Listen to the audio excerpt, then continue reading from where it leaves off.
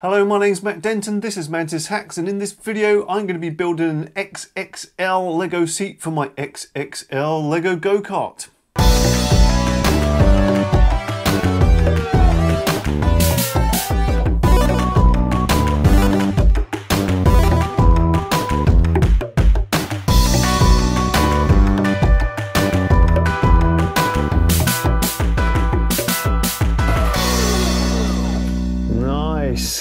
I'm building an XXL sized Lego go-kart. It's 3D printed, it's going to be electric powered with brakes, and it's going to be big enough for my nephew to ride and hopefully me too.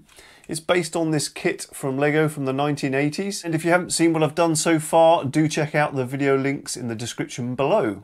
Now the original kit comes with a 3 wide by 3 long stud seat, um, and I was going to replace this with a proper bucketed go-kart seat but it wouldn't look very cool. Um, but this one is certainly not going to be big enough for me. It might just about suit my uh, nephew, but there's no side support and there's no back support.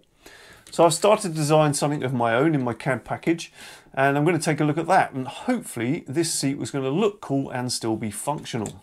So I start with a 4x4 plate with uh, two hinge brackets. This will all be bolted through to make it nice and secure. And if I bring in the back of the seat here, I've got the other part of the hinge brackets another 4x4 plate and above that there's going to be a 1x4 plate and then either side of here I have a couple of 2x2 plates. I could do a 2x6 but my printer won't print anything that big.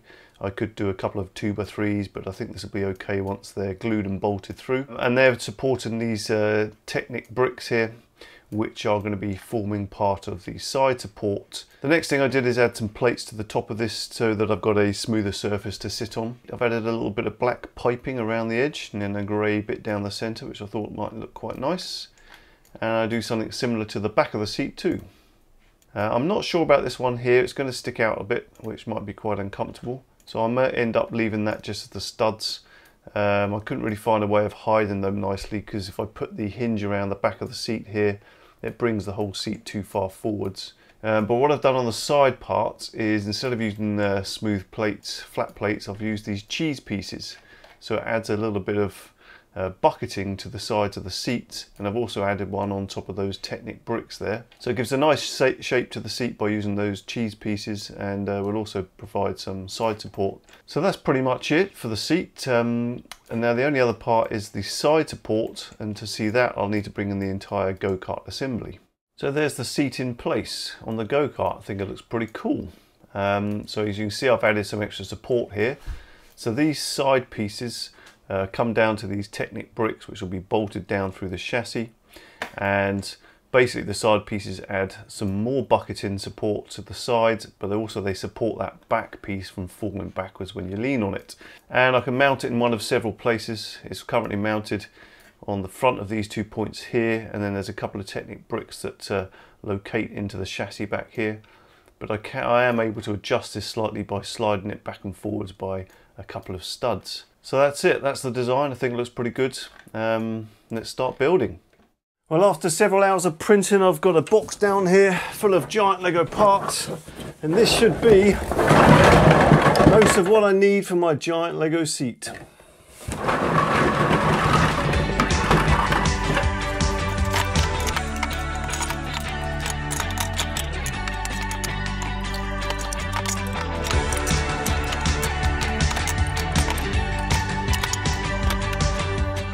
Of this assembly is going to be glued and bolted, but I'm going to do a dry fit first. And uh, for example, I've already bolted this hinge together, uh, two hinges basically, and then by tightening up this bolt through the hinge, it really stiffens up the joint, which helps keep the seat in position. I found a nicer way of putting these together. So what I've done is embedded the nut shaped recess. There's an M6 nut inside the back of here. I've done that on both sides and that takes an M6 cap bolt through and then picks up the nut in the back side and hidden when it uh, goes together. So that's quite nice. I should have printed this a bit lighter. This is really heavy. This is nearly a 700 grams of plastic or something, which is a bit much. I probably should have done the version which has the holes in it. This will all be covered up, so won't, you won't see any of this, but uh, it's useful when you're bolting through to have the um, pilot holes for the 8mm bolt. First of all, I'm going to put this together, I think. I'll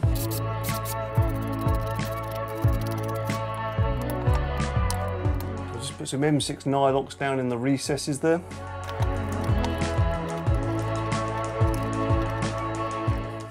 It's tightened up nicely.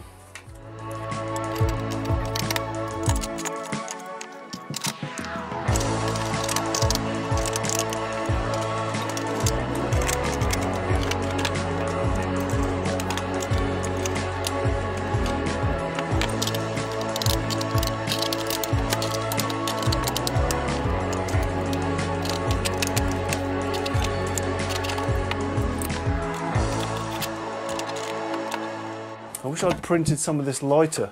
I was trying to make it strong, but um, I feel like I should have been going, being more conscious about the weight. I need to bolt some of this, otherwise it's not going to hold itself together. Because at the moment, without the go-kart, I can't put these braces in place that stop the whole seat from going backwards.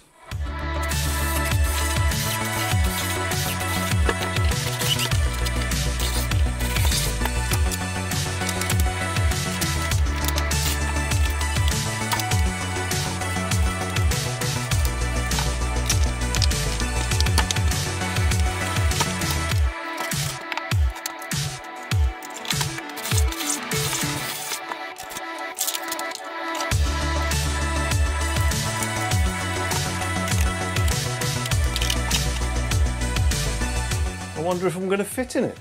I just added these two plates on the bottom so that it sets these uh, side pieces in the right position as if it was mounted on the go-kart chassis and I added that plate at the back just to support uh, this top piece which was loose. But otherwise I think that's looking really nice. I like that. I don't know how best to try this out but I figured I'd just uh, kind of leave it on there and then try and perch on it. Ugh tell you what, that's pretty good. I mean, you know, it feels like I'm sat on a Lego chair, but I can see a new line in office chairs springing up. I don't want to lean back on it yet. it's not quite fixed properly. Got a bit of bucketing from these side cheese pieces here and some bucketing in the back support. That's pretty good, I like it.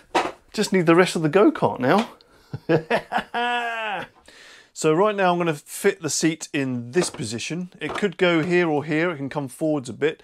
It can't go back any further at the moment because the hinge, the back of the hinge interferes with the axle. Um, I mean, it could go all the way back here, but that just looks a bit weird. And I need to bring some of the weight forwards. So anyway, I'm going to fit it here. Uh, and to do that, I am installing a couple of Technic blocks in here, which are just on standard Technic pins.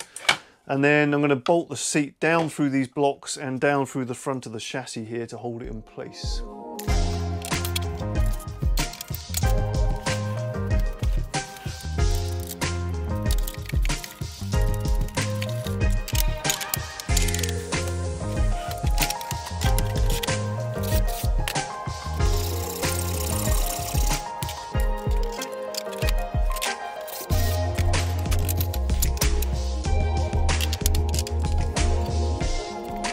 Wow, that seems pretty good. I mean, the back still isn't fixed at the top here. I forgot to print a part and I'm gonna have to glue some of this.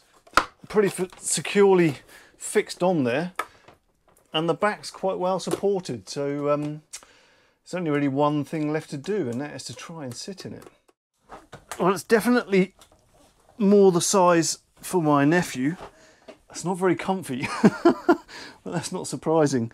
I'm definitely to need a longer chassis for me unless I want to drive it, oh there we go, I can drive it like an old Sinclair C5, if anyone knows what that is. And the back has just fallen off.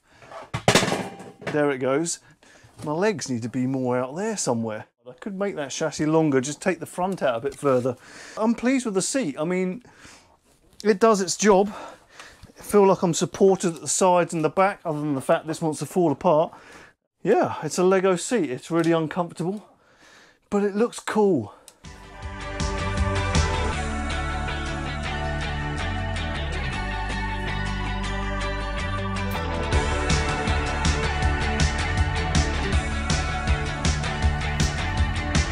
That's it for this video, but hopefully next time we'll be out on a test track somewhere. Until then, please remember to like, share, subscribe and leave your comments below. Bye!